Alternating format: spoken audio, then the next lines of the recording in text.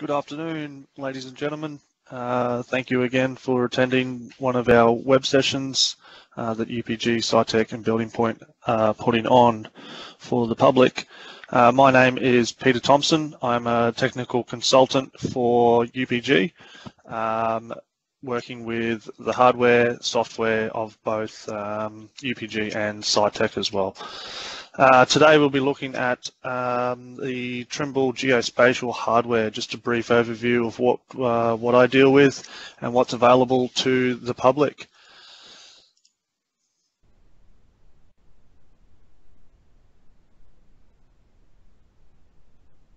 So uh, we've got a couple of products here that we um, that we deal with, but you might just want to share your screen then, mate. Ah, yeah, there it comes. Brilliant. There it is. Cheers. Yep. Thanks, mate. Um, so we've got a couple of products here that we deal with. Um, the, we could go on for hours, but um, just with the geospatial, we've just got a couple that I'll go through uh, to give people an understanding of what um, what is around. Um, so we've got a we've got a couple of uh, tablets and controllers available. Uh, the top left-hand corner, we've got the T7 tablet. Uh, the one underneath it is the TSC7 tablet. Those two in conjunction are the same controller. Um, as you can see, the only difference is one has a keypad um, and the other one has the keypad to the left, to the right-hand side without um, as much detail. Um, depending on how you use it and what you use it for uh, will depend on which one you go for. Exactly the same uh, specs inside it. Uh, there's not much difference. Um, we have the R12 receiver that uh, has come out in the last three or four months.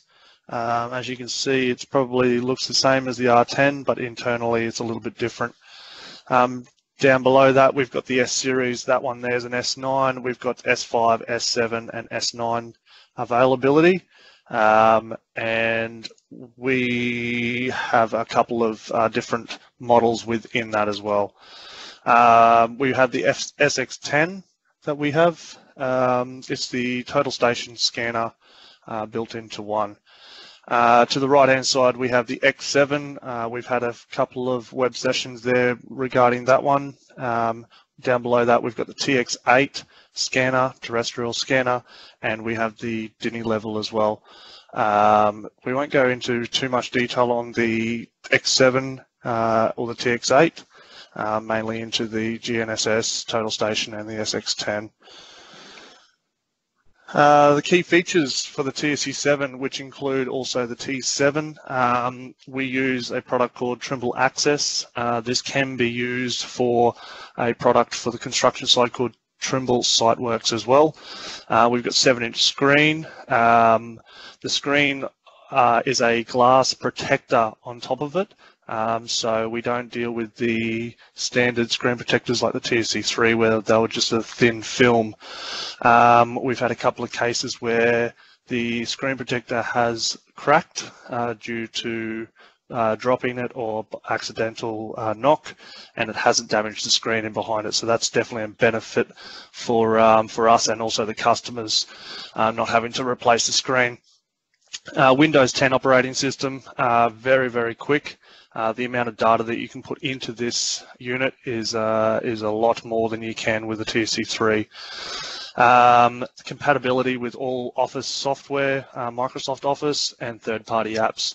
Um, you can use 12D uh, as well as another program that can be used on this. Um, you can use any file sharing uh, types of products, um, including Dropbox, uh, OneDrive, um, essentially, this is a computer uh, in your hand. Um, we've got a couple of people out there that use this as well uh, with TBC on it as well, and a couple of other products that they have in their hand rather than having to go back to the office. Um, 8 gig of RAM, uh, and 64 gig of internal memory uh, is quite a lot compared to the TSC3, so it's a, a big, big jump. Um, interchangeable mo modules, mPower modules, we'll get into that onto another slide, um, and hot swappable batteries. In the back of this, there's two batteries that can be changed uh, while you are actually still powered up. Um, you change one battery at a time and you will not lose power, data or anything like that um, at any stage when moving one battery, one um, dead battery to another full battery. Uh, we run, as I said, Trimble Access 2019 eh, as a geospatial product. Um, as you can see here, it is quite different to the Trimble Access 2017. If you've used it before, uh, we head straight into the map screen um, rather than going through different menus to uh, to get to where you want to go. Um, the differences, we've got um, a lot more capabilities of uh, design data um, and third-party data as well. So that there you can see that's a an IFC where you can use uh, to stake out, um, not just visualize. We've also got an input into the roads module is uh, the 12DA. So when uh, when using um, roads, you don't need to spit out a Genio file, a MOS file from 12D. You can just put in the 12DA straight into roads and define the road that way. Um, we have a Trimble Access uh, webinar next week, and we will go through those details a little bit more in depth. Uh, the TSC7 accessories um, we have here on the left-hand side, that is the pole uh, mount. Um, so that sits in behind the TC7 and onto the carbon fiber poles that we have available. Uh, it is a lot uh, lighter than some people think, uh, and the stability is is incredible. Um, the way that it sits on that pole is a lot better than uh, what you can see when you have it in your hand. Uh, we have a shoulder strap as well down below that. Uh, we also have a, a dock uh, for HDMI and Ethernet out. Um, so you can use this at home in the office as your PC if you want, and then run uh, a network cable into it, or you can run a, uh, a monitor to see to have a bigger bigger screen. Um, comes standard, we've got the shoulder bag um, and the spare batteries and the battery uh, pack as well. Um, that's a part of the deal with the TC7 that we put in there, an extra charger as well for that. Um, this uh, option up here is a different configuration for the bottom of it. Normally it would come with a serial port DB9 um, port but uh, you have the option for two USBs. Uh, for this case, uh, you can run a TBC dongle as well as transferring data, uh, or you could use a 12D dongle while doing other things and uh, with a mouse or a keyboard or whatever it is that you want to use. Um, that is an option that's available as well. Um, this one here, we have the uh, tribrach um, mount for the TSC7. So uh, the Tri tripod leg, sorry. Um, this sits on the legs and then you just slide the TSC7 in between these two arms here and it's uh, it stays on there just like the TSC3 did with the mount on the back of the of the um, of the unit. This one just sits on the legs. Um, speaking about the mPower modules, we have three available. Uh, to the right, we have our standard uh, 2.4 gigahertz uh, radio module, the EM120. That sits in behind the TSC7, as you can see here in this in this photo. This is just for radio connection between your instrument and the controller. Uh, the good thing about these modules now is that they're detachable. The, the customer can uh, just use a Phillips head screwdriver, unscrew those the two screws at the bottom here of the module, and pull that apart. So if there is any failures or if there is any uh, anything that needs to be put on to the back of it if you want to run the the other two modules that we've got here. Um, we, you don't need to send it back into us to do any uh, reconfigurations or anything like that. Um, we've got the sub-meter GNSS um, EM100. Uh, this one would be for a mapping customer if they want to go out without having to use a, a receiver. Um, they can just use this module here, um, runs with um, with Trimble Access as well. Uh, to the right hand side, we've got um, the EM110, which is a barcode scanner. Uh, this one is for asset reading. Um, if you've got a register um, or if you've got something you, you need to to has an attribute or any more information into it uh, via QR scan or any of those types of other scans that are available. um, this is the unit that you would need uh, running through Access as well. Um, we've got a couple of customers who have asked about this and they've taken it out with QR, Queensland Rail, um, to take photos of their scan of the barcodes on power poles um, and other assets that QR own, um, as well as doing the survey. So that, that came in very handy for those people. When they're um, when the barcode scanner comes into play, um, whenever you scan that code, you will see the information that's embedded into that code. Um, so that's very, very handy when it comes to those sort of things when there's a lot to um, a lot to survey and you don't know the information when there's there.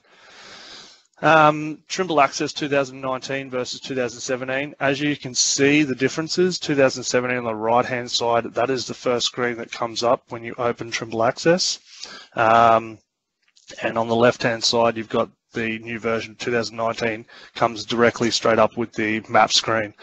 Uh, there's a major change in 2018 when they brought that in, um, and I feel that it has made people's lives a lot better. They can physically see what's going on, uh, and they've also got the menus up on the left-hand side here um, which will bring up exactly the same as what the 2017 access does. Um, the main changes have been visually, I feel, um, making it more user-friendly for the surveyor. Uh, we've got that, again, the access um, web web session next week. Um, if you feel free to come and listen, and we'll go into into depth a little bit more into the Access 2019. Um, major changes, more formats that can be brought in, uh, and just visually better, better looking and more user friendly. With that, we've got the SX10, which um, can only be used with Trimble Access. Um, we've got some key features here, obviously being a total station and a scanner in one. Um, it's on another level, I feel, um, when it comes to survey. Uh, we've got a different EDM that's built into it with high accuracy total station measurements and high speed scanning capability. Um, Scan speeds at 26,600 hertz at ranges of 600 meters, um, and we've got the smallest uh, spot size in the industry. So uh, I've used this quite a few times, and it has definitely helped uh, a lot of customers who see this, and has also helped myself as well for um, taking surveys that I would never ever think I'd ever get to. So it's helped a lot of people through the through the um, times of of survey and the revolutionary uh, times as well. Um, works with um, it's it doesn't have the eyepiece as a S series would. It uses all different cameras. Um, as you can see, these little um, inserts in the camera in the um, scanner. These are some of the cameras that are available. Um, on the right hand side you can see the descript the um, the references with the camera. Um, slope distance of 1004 meters and we've still got three different cameras to to utilize. So you can see that the resolution is quite good. Obviously, the closer we get to that house there, heat shimmer comes into play, uh, other environmental issues come into play. So you're not going to see some of the uh, qualities of the house, but uh, the idea of it is so you can uh, use it um, uh, if you've got targets at a long distance um, and those sort of things. So this is uh, another thing that has helped so many people with lane closures, traffic control that's come into play, they just take this out now and, and it's helped them. And quick and quicker, the amount of data that you get, um, I don't think you could ever get with a normal total station. Uh, we got the R12 receiver as well. Um, this has come into play the last three or four months. Um, as you can see, same as the R10 Model 2 and the R10 Model 1. Um, internally, a little bit different. Um, we've got a new um, a new product, I guess you'd say. Inside it's an engine. It's called ProPoint. Um, essentially, what it does is when you're working under canopies of trees or next to buildings, uh, ProPoint kicks in and it helps the initialization a lot quicker um, and still keep the initialization while you're still under those trees while still holding full constellation as well. So uh, a big, big improvement of the R12 compared to the R10 Model 1 when it first came out. The R10 Model 2 can have ProPoint. Um, it's an option that you can buy uh, just to keep everyone aware of that one if, if they're asking uh, about the R10 Model 2s. Uh, 672 channels. Um, we got SurePoint, the tilt compensation. Uh, the difference is we don't have an IMU as of yet compared to the 986. Um, not sure what the talks are, but uh, only tilt compensation, that's it. Uh, we got an xFill, which is a system that comes into play when you've lost lock for a period of time. xFill can then over overwrite that and keep you going for a period of time um, until you find open sky again. Um, again, works with Access and also SiteWorks uh, with a new version of SiteWorks. Um, Wi-Fi capabilities, Bluetooth, uh, cellular, Wi-Fi. We have a system now where with the R10s all the way up to R12s, uh, you can actually remote into the unit uh, via an IP address while connecting to Wi-Fi and go through the configuration settings through there, updating firmware, uh, entering receive only frequencies, uh, and there's the list goes on. There's so much in there that um, you turning on and off constellations, turning off individual satellites is another thing. Um, and that can make your life a lot easier than having to go through a program and a cable, if that's the case. Um, still utilizing the cable for transmit and receive frequencies. If we give you a set file, um, that's still in play there underneath where the R12 is. Uh, you can see underneath the, um, the ports there um, we got two different ports, one being, um, they both do the same thing. I'm not sure why they've got the two in there, but uh, compared to the 986, it's only got the one in there. Um, it's got uh, six gig of internal memory as well. So when you're doing static, um, is the main choice of why you have uh, internal storage, um, and there doesn't seem to be uh, enough data going in for it to stop unless you've been doing statics for uh, a year every day for at least 12 hours a day. So there's quite a lot in there, and the transfer is via Access or via the Web UI as well. They call it the IP link that you log into, and then you can download that static data that way. Uh, the software relations to these products. Um, Business Center is the key one there. Um, a lot of people, when the TSC7 first came out, were asking about the cable and how to get in, the data from the cable, uh, from the TSC7 uh, back into the computer like the TSC3. That option is not there anymore.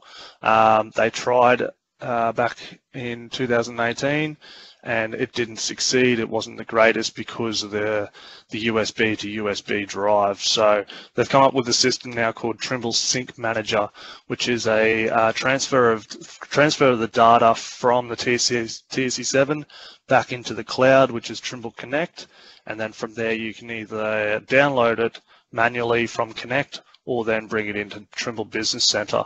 So that's um, it helps with if you've got corrupt uh, USBs, you don't have the issue of losing data. Um, you can have automatic timers to sync back to the cloud at certain times. Um, and there's no USBs involved at all. So uh, another major breakthrough for Trimble in the TC7. Uh, Trimble Installation Manager is the program where updating firmwares um, and if there's any codes that have been applied to the units, whether it be a receiver, uh, an SX10 uh, controller. Um, you can run the Trimble Installation Manager on the TSC7 as well as the computer and um, download individual firmwares or upload any codes or any new firmware that are available depending on the warranties that you've got on your units. Um, other sectors that we've got with geospatial, we've got um, uh, not just with geospatial, but within uh, access that can be used is the construction products. Uh, as you can see, left-hand side is the 986. Um, just uh, we don't have a code or we don't have a, a system where geospatial will only work with geospatial. We can integrate between the sectors. So 986 and Access can work and SiteWorks and R12 can work as well as long as you're on the highest firmware of SiteWorks, which is 1.2. Uh, in the middle, we've got the GEDO system. Um, we can either use GNSS, Total Station, or uh, the TX8 or TX6 scanner. Um, and that's another another session that we might look at doing down the track. Um, we also do monitoring as well, um, automated or manually, manual uh, monitoring. Uh, there is a module within Access that uh, you can use for the uh, instruments for manual for manual monitoring, and we also have a system called the SonarMite um, for hydro surveys. Uh, we don't have the boat anymore. Uh, we only deal with the transducer and the SonarMite. Um, so GNSS or total station can go onto that system and uh, anything in a canal up to a certain depth as well, um, you can do your surveys. Support-wise, Trimble have got a uh, website, uh, Trimble Access Help Portal. Uh, type in any keyword into the search engine up the top um, and it'll find anything that's related to that. Uh, there's videos, there's topics, um, anything, any release notes that you need to know about is all in there as well. Also with our TSC7s, T7s, we have a program called TeamViewer, which is a remote desktop um, where we can log in and if you're having issues with your receivers, issues with survey styles, uh, connections or anything like that, or just general questions, we can log in and we can give you a hand uh, or answer any of your questions. Uh, we also have a support portal as well with when you ring our 1-800 number uh, and this will take you to support gateway who logs a case within our system called CRM. Uh, it's just a better option for us to log the cases. Uh, and if anybody is looking after a case and they're not there, then somebody else can take that on board. Um, so TeamViewer has definitely helped us as a support network a lot better than um, having to talk people over the phone with their TSC3s. Um, we still do get TSC3 questions, but um, when you do get a TC7 straight out of the box, uh, you'll get TeamViewer on there straight away. So has helped us a lot and uh, hopefully continue to move forward and and uh, keep uh, the technology going. So thank you very much for your time and effort uh, for coming to this web web um, web session again.